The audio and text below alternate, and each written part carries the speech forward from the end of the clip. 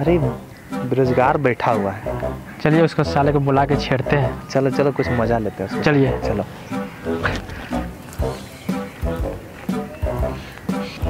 ए बेरोजगार इधर आओ।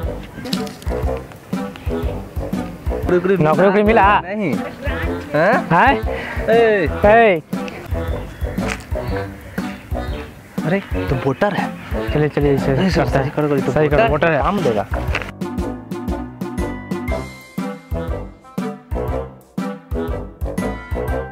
अरे इसको ठीक करते हैं ये वोटर है। बाबू हमर। सब ठीक करो? सब ठीक है ना? बाबू हमारे वोटर था। सब ठीक करो इसको? अच्छा अच्छा। अच्छा राम नहीं इस बार नौकरी लग जाएगा तुमको नौकरी हम दिलवाएँगे। हम लोग दिलवाएँगे नौकरी। कौन है? कौन है भाई? कौन है? अरे कोई नहीं है। ये आकाशवाणी है। वे चमन चूतियो। एक बार अपना टीवी खोलकर सीधा प्रसारण देख लो।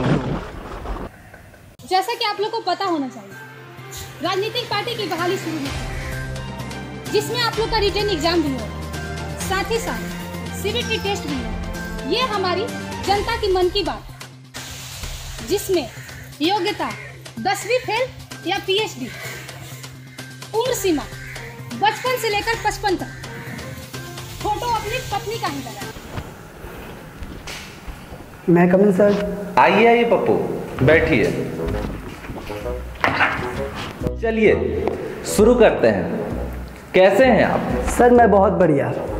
आप अपनी मन की बात बताइए कि आप जनता के लिए क्या सोच के रखे हैं? मैं जनता के लिए तो यही सोच रखा हूँ कि मैं मोबाइल दूँगा लैपटॉप दूँगा और साइकिल दूँगा। इससे बेहतर और क्या हो सकती है?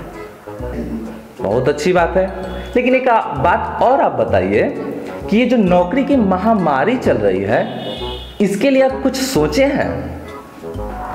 नौकरी की बात जहाँ तक की जाए तो वो मैं अपने मम्मी के भाई के बेटे के फुफेरे भाई के लिए ज़ुबान दे दिया है सर। अच्छा ब्लड रिलेशन वैसे लगते क्या है आपके? सर वो मैं खुद ही हूँ। क्या? चलिए ठीक है ठीक है ओके ओके। आपका रिज़ल्ट आपकी मम्मी को पहुँचा दिया जाएगा। ठीक है सर बड़ा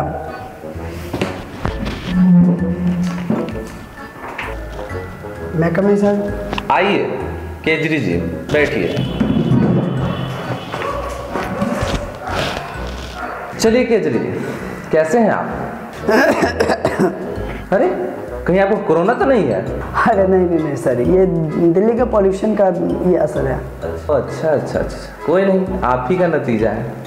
चलिए मैं आपसे तीन कठिन प्रश्न पूछूँगा। बोलिए। पहला यह है कि आप अपनी मन की बात बताएँ।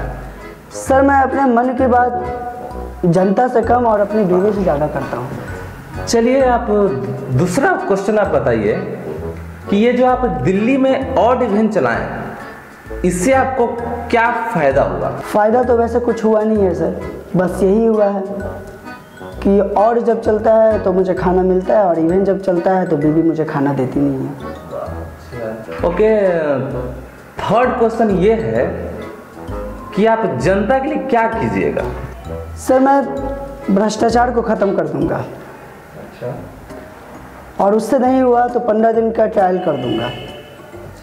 अगर सक्सेस हुआ तो ठीक है। और ना हुआ तो? सर उसके आगे का मुझे नहीं पता। चलिए केजरी जी आपका इंटरव्यू समाप्त होता है। आपका लेटर आपके बीवी के पास पहुँचा दिया जाएगा। जी धन्यवाद।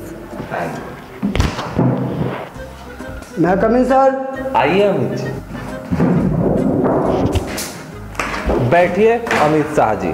अमित शाह नहीं अमित ओ अमित वाह क्या बात है।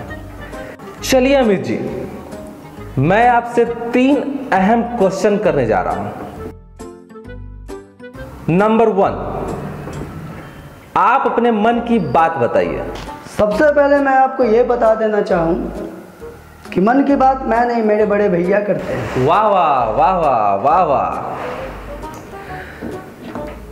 क्वेश्चन नंबर टू ये है देश का जीडीपी आपके पास 15 सेकेंड टाइम है, आप इसे कैसे सुधारेंगे?